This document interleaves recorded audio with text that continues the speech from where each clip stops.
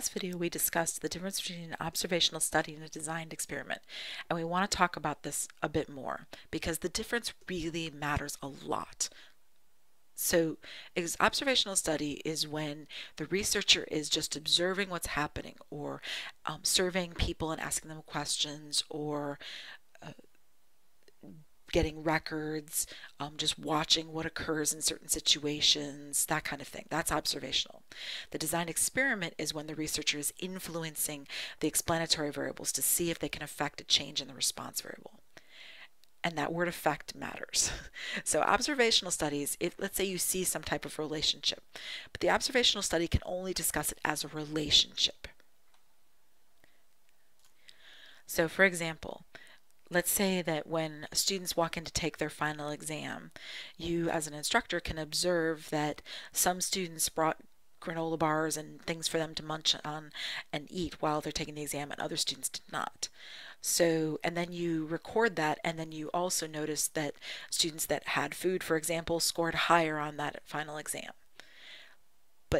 all we can talk about is the fact that food seems to have a relationship with score on the final exam. If students have food, then they score better on the final exam. But we can't say that the food is causing the higher final exam score because there are other things that could be affecting what's going on. And we're going to talk about this down here called confounding variables, lurking variables, etc. So the observational study, the, the professor is just seeing who's eating and seeing who's not, and then recording that, and then recording exam scores and saying, hey, students that brought some food, they scored higher. That's an interesting relationship. But I can't say that this food caused the higher exam score. And the reason is that it's not a designed experiment. The, the researcher, the instructor did not give the food to certain students and not to others. That's what it would take to be a designed experiment. Let's say as the students randomly walk into the exam, students are randomly assigned an apple or nothing right? You're told you can eat this apple during the exam, or you will eat this apple during the exam, and other students are said, no, you will not eat during the exam. So the research is influencing what they can do during the exam, and then we would see how they score. And if the apple students score better than the nothing students, then we can start making a call a cause and effect claim and saying, hey, students that that eat an apple, they scored higher. So it appears that eating an apple causes students to score higher. But that can only happen if the researcher influenced, gave the apples out randomly to the students, recorded the exam scores, etc. So those are two very different relationships because in an observational study, if students are just eating food of their own accord, then maybe those students know themselves better. Maybe they're more introspective. Maybe they're better studiers as a result because they know they need food during an exam. They recognize that about themselves. They might also recognize better how to study. They know better how to look at themselves and figure out what they need and what they don't need in an exam and also what they need and don't need when they study. So maybe you're just catching that relationship of more introspective students. That is called a lurking variable.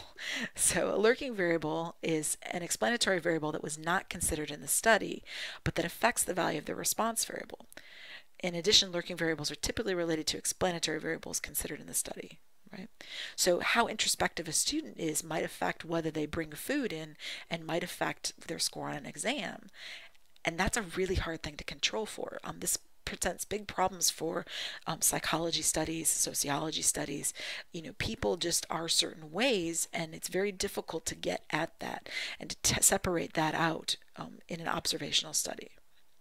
But I've I've put the cart before the horse a little bit. So let's go back and talk about confounding. Confounding occurs when the effects of two or more explanatory variables cannot be separated. So there are lots of things that influence how you score on a test. All the things that influence that are explanatory variables. And the confounding is the fact that there's relationships between these things. You know, how introspective you are, how much you studied, how much you ate, how much you slept. All of those things are are confounding the situation, making it difficult for us to figure out how you can score higher on a final exam. Because that's the response variable. We want to score higher on final exams. How can we do it? Well, there's so many different factors, and all of those different factors are at play with each other. That's confounding. It's saying there's a mess going on here, and what and researchers try to do is they try to tease out that mess and figure out, hey, what can I see is really having some kind of relationship if it's something I cannot affect. Let's say how much the student slept the week going up to the exam. I'm never going to be able to control that and influence um, people to to be different. So that's I'm only going to be able to talk about relationships. It appears that students that slept more in the week going up to the exam scored higher but I can only talk about it in those terms, a relationship. Now, if I force students to sleep or force students to stay awake, that's more a causal effect. I can affect what's going on as a researcher, and therefore I can say, hey, if I force students to not sleep, if I force them to stay awake, they scored worse on the exam, then I'm showing that there's some kind of cause effect relationship. All right, so confounding is just that there are lots of variables that would influence your response variable. Um, and we've got to try to account for those things in various ways. Now, lurking variables are confounding variables that we were, excuse me, lurking variables are explanatory variables that were not considered in our study, but that do affect the value of the response variable. So, for example, my level of introspection for a student, that would be a lurking variable. A confounding variable is an explanatory variable that was considered in the study whose effect cannot be distinguished from a second explanatory variable in the study. So for example, let's say, go back to my apple and no apple for the final exam. So let's say I further say apple students, I'm going to randomly place you through the room and non-apple students, I'm going to randomly place you through the room. So that way I that I've gotten rid of placement in the room for where you take the exam as a confounding variable. Because where you sit to take an exam might have an effect on how you score on that exam. So that's a confounding variable that I can control for. But a lurking variable is an explanatory variable that I cannot control for. So, for example, how much sleep the student had for the week leading up to the exam how much the student studied, how many hours the student studied for the week leading up to the exam. Those might have a great effect on the final exam score, but I have no way to influence that as a researcher. So therefore, it's a lurking variable. It's something else going on that I cannot have any influence over. All right, so both confounding variables and lurking variables are explanatory variables that could affect the situation. Lurking variables are ones that I could not account for in my study. Confounding variables are ones that I can account for in my study and try to mitigate the factors of. So, and I wrote that right here. Confounding variables are measured in the study, but lurking variables are not. Another confounding variable might be biological sex. So I could record um, the biological sex of the people that are taking the exam. So perhaps women score higher on this exam than men or something like that. So I could measure those variables. I could write down the biological sex of each student and I could see did that have an effect in what was going on or not. So I could I can measure that, but how much the student studied, which is lurking, I cannot um, influence or measure. All right, a placebo is a neutral treatment that has no effect on the response variables. So that would be um, a sugar pill, for example, or a false treatment. Sometimes they'll do uh, fake surgeries and real surgeries. So they'll, um, or fake acupuncture and real acupuncture, or they'll do it one way versus um, a fake way, but the person doesn't know that it's fake, for example. So that's a placebo. It's a neutral treatment. Um, sugar pills, technically, they don't like making them out of sugar because sugar might have an effect on your metabolism. They try to make them completely inert, something that has no effect on you whatsoever. So that's a placebo, right? So placebo is a neutral treatment. Um, the easiest way to imagine this is with drug testing, but they do um, sham all sorts of things if you research placebo. Now, placebo effect is when your subject responds because they received a treatment even if that treatment was a placebo. So uh, this person says, Yes, I'm feeling much better, doctor, but the doctor only gave them an inert pill that did nothing. But they still felt better. And that's a psychological effect that we are still trying to get our hands around why that is going that way. There's lots of psychological studies on what the placebo effect is, how can it work better, etc. Because when you think about it, it the person, if the person gets the benefit without having to take the high powered drugs or whatever it might be, then that would be a great thing. If we could harness whatever it is the brain is doing to make the person feel better without actually having to have this, you know, terrible treatment, say, then that would be wonderful. So placebo effect is a, is a very hot topic in research right now. Now, a control group. A control group is a group that receives a baseline treatment. Now, it's often placebo, so for example, um, or nothing. So for example, in the final exam example that I gave, apple would be the treatment, nothing would be the control group, right? So the group that got nothing, they're the control group.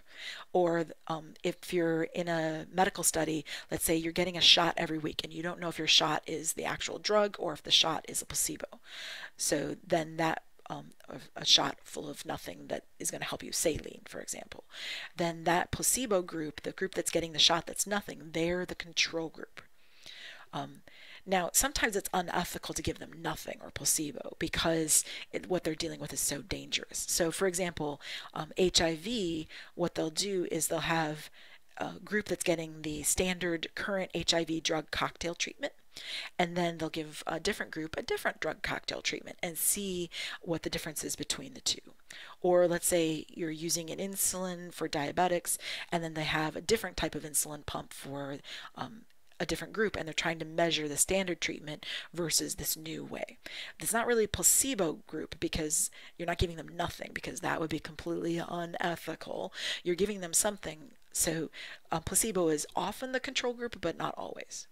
Now, keep in mind, a big mistake students make is that they think that a control group is a group that is controlled by the researcher that's true, but all groups are controlled by the researchers, so that's not what it means. A control group means the baseline treatment group, the group that is being told to do nothing, or the group that is being told to do or being given a placebo, or the group that is being given that standard medical treatment. That's the control group. It's the baseline group, right? It is not the group that is being controlled, quote unquote, by the researcher. Because if you're in an experiment, all the people are being controlled by the researcher. That's not what it means. So, control group is the um, inactive group, the base group, the placebo group, or the standard group, whatever that might be. So, for example, in our final exam group, the students that did not get the apple, they are the control group. The students that did get the apple, they're the treatment group. Now, it's also important to note that lurking variables, before we leave this page, lurking variables are a big problem in studies. So if you can't control for every confounding variable, then there are always other things, not always, but there are often other things that could be affecting the situation. And that's why in every science class you've ever had, they've told you that correlation is not causation. It's because of those lurking variables that you are not able to have an influence over and you're not able to establish a control group for that create big problems in research. And we're going to talk more about that in chapter 4 as well and chapter 11. All right, so let's look at example two. This is a real life study, by the way, that I got from a podcast that I love called Revisionist History by Malcolm Gladwell. It has a food scientist wants to compare the flavor of McDonald's fries made with beef tallow, the original method when I was a child, and vegetable oil. They use identical potatoes and cooking times to make the fries. The fries are then numbered, and a group of people who don't know which is which, that's very important, that's called blinding. We'll talk about that more a little bit later um, test them and rate them on a variety of traits such as flavor, texture, and crispiness, etc. So what are some confounding variables here? Well, confounding variables are variables that could affect what's going on, but that you've measured, taken care of, etc. And the key right here is the identical potatoes and cooking time. See those right there? So I threw that in there to give you an example of a confounding variable. So the confounding variable is the identical potato type and cooking time. Now, were there any lurking variables? Yes. The temperature of the oil, for example, is a lurking variable because we don't know what temperature they had it. Maybe they had the vegetable oil at a higher temperature or a lower temperature. Maybe that was inappropriate. Um, maybe the presentation of the basket somehow influenced what was going on. You can imagine a lot of different things. So I'll just leave temperature of oil. It's it's a confounding variable that could affect the flavor of the fries that we didn't account for in our particular problem. Now, let's look at what we're looking at, the rating system. The rating system is on a scale of 1 low to 10 high. That is ordinal and quantitative discrete. Now, it's it's a really terrible um, a lot of statisticians don't like this particular type of method of rating um, because there's no baseline and so what one person's three is another person's seven etc but nevertheless in real life practice it's treated as quantitative discrete one two three four five and it's ordinal because you know that three is higher than two but you don't really know by how much or what that difference means. Uh, again a lot of statisticians really do not like the ordinal quantitative discrete um, likert scale is what it's called from 1 to 10 or 1 to 20 or whatever. Um, but nevertheless it's used a lot in practice now, if the researcher finds that beef tallow fries taste or have better flavor, can they conclude that frying in beef tallow causes the fries to taste better? And the answer is no, primarily because of the, the big lurking variable that we were not able to control for. So we know, for example, that we did not account for the fry oil temperature, for example. Um, but if you could control for all of the remaining um, lurking variables, then perhaps a causal claim could be possible in this situation because this is a pretty easy thing to control for, relatively speaking, as opposed to how students study or sleep before an exam, which would be very difficult to influence all those different variables. But with frying oils and temperatures and, and french fries, it should be possible to control for every possible thing if we are careful, very careful. Another lurking variable I just thought of is actually the amount of salt that was put on the fries. They didn't mention it, so we have no evidence that they actually used the same amount of salt in both batches. So we'd have to be very careful about that as well. Now it is possible to turn these lurking variables into confounding variables that we actually account for in this particular situation. I just wrote it up so that we didn't have them accounted for yet.